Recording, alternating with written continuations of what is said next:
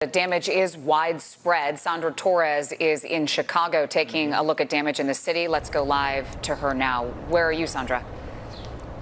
Hey there, Kate. So we are in the Illinois Medical District right off of Polk Street near Ashland Avenue. And you can see behind me this massive tree that fell here on Polk Street and it's now blocking the street. Folks are driving up not realizing that this tree is blocking it and then having to turn around. It landed on one specific vehicle across the street here, but others were impacted as well. Just a few scratches, though, it seems. Nothing major on this side, but you can just see from this angle just how large this tree is. And talking to folks who live in the area, we came across this man who said, Oh, that's my girlfriend's car. She nearly, or the tree nearly missed it. Uh, but here's what he had to say waking up, I thought it was, you know, just going to be a little bit wet. But coming out of here, I was just going to run down Ashland here until I saw this tree covering the entire street, and the first thing I thought was, holy cow, I hope the car's okay. So, um, looks like I got lucky. Uh, it's my girlfriend's car, but um, doesn't look like it's gotten any scratches, just some leaves on it. Well, they got lucky, but another vehicle did not. You can see this other vehicle where the tree literally smashed it right on top. The tree's root plate torn completely from the soil, likely due to those strong winds last night, buckling the concrete sidewalk as well. And it's not just here where we're seeing this kind of damage. In Norridge, uh, our photographer Rick Stuckey also came across a large tree that fell on top of a house on Maple and Thatcher and he tells us that just driving through that neighborhood, you can see tree debris all over it, giving us a sense of how strong those winds were last night. Now, back here live, as you look at this enormous tree that's blocking the street, people are waking up and they tell us, you know, we did not expect to see this. They already went through that first round of storms a few days ago, or, and they said, you know, we really didn't think it was going to be this bad. And then walk, waking up and seeing this, it's certainly uh, quite the scene. Uh, we have not met the owner of the vehicle that is completely smashed uh, because of the tree here across the street, uh, but we're sure they're going to wake up to it very soon. We're going to send it now to Patrick Fazio. He is in Joliet, also following some of the damage there. Patrick, what can you tell us? Hey, good morning, Sandra. Yeah, we were in Joliet earlier showing you some of the damage and the trees knocked down, the power lines and power poles knocked down, knocking out electricity and traffic lights have been out uh, throughout the night there. Power is still out. We just moved to uh, Shorewood nearby, just west of Joliet. To this neighborhood, they do ha actually have power because their power lines are underground, but take a look at some of the damage here. From this house here, a tree busted into their roof there, and they also have damage on the backside as well. And you see the trees throughout this neighborhood here on Canterbury Street. This other house right here, tree split in half and banged into their roof as well. As you look down the street, more damage to these houses, but the worst one so far this morning, this house right here, a tree fell onto the back of it, opening up the roof. You can kind of tell from the street here how uh, how much damage is just at least to the roof. But we uh, heard from a, another neighbor who said that it's basically opened up on that backside when this storm came through last night. They heard yelling and screaming from the, the neighbors that live inside. So uh, they called 911 to get them help, but they were not able to get over to their the house because the street was blocked with all these trees. And from the video you see of overnight, crews came out pretty quickly after the storms hit to start clearing the street, but the ambulance had to go to the backside of the the other uh, street behind this uh, house that was worst hit so that they could get the uh, the people inside the house out and take them to the hospital. And neighbors talked about the storms overnight. Take a listen. Yeah our fence is down. We have a large gazebo in the back and that was lifted up and moved.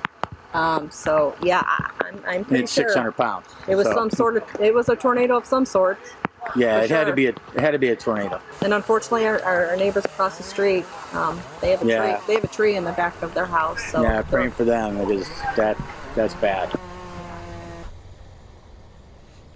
Yeah, so those are the neighbors that uh, people here on this street are worried about. Those are the neighbors who had to go to the hospital after that tree fell into their house. This right here. So we're waiting to find out more to see exactly uh, how bad injuries were. Uh, we have not heard of any fatalities at this point from the storms that came through, but we do know a lot of traffic lights are out throughout Joliet, uh, Shorewood here as well, where we are now. And ComEd says uh, about 220,000 customers are still without power. That has improved throughout the uh, overnight, but it's going to take a while to get almost a quarter million customers back online with electricity after these storms last night. Meanwhile, thousands of homes are without power as well right now. ComEd says the storm knocked out power to more than 400,000 customers at the peak of the storm. Base camps are being set up with additional resources in some of the hardest hit areas, including Joliet, Streator, University Park, and Freeport. More than 3,000 utility workers are working around the clock to restore power, prioritizing police and fire stations, nursing homes, and hospitals. We are putting every available resource and team member into this response. We have called in mutual assistance from all neighboring utility partners across the nation, including Canada. Power has already been restored for about 200,000 homes. ComEd says about 80% of customers can expect their power to be restored by late tomorrow. The remaining outages could be restored by Friday night. The village of Shorewood in Will County was hit very hard by the storms last night. Take a look here at tree branches and debris littering yards, some of it even up on the roof. Several homes were damaged in this neighborhood, and we're told there were a few injuries as well. Neighbors we talked to today say that storm sounded like a freight train coming through, pulling several large trees right out of the ground. To the east in Cedar Lake, Indiana, this neighborhood was also hit hard. This warehouse lost its roof. We saw workers making repairs already today. And in a neighborhood, a woman was killed when this tree fell on her house. We will have much more on that story coming up at 4:30 this afternoon, but we want to take a look at the large survey that's being done for all the damage. The National Weather Service already confirmed at least 5 tornadoes from last night and they're still out in the area. NBC5's Christian Farr has more on the cleanup from Northwest Suburban Schiller Park. Cleanup has begun after severe storms once again passed through the Chicago area last night. This is the first time I'm seeing everything. It's just it's it's really bad. I I, I didn't get any sleep last night. Um, uh, there was no there's still no power. Andrew Ayala and his family rushed to the basement of their Schiller Park apartment building when they heard warnings about tornadoes possibly touching down. From the windows, you can see the the wind. Everything was hitting it, and it was just a crazy night. The National Weather Service sent out survey teams today to see how many tornadoes might have touched down last night in the Chicago area. A team in Channahon has already confirmed that an EF1 tornado touched down near the far southwest suburban village. Back in the northwest suburbs, as the wind progressed, it was pretty, pretty big winds. I, don't, I saw a couple things saying like, you know, 65 to 70 mile an hour wind gusts. Northwest suburban resident Philip Richardson and his family spent part of the day clearing their front yard of several fallen branches. The Texas native grew up with his fair share of tornado warnings.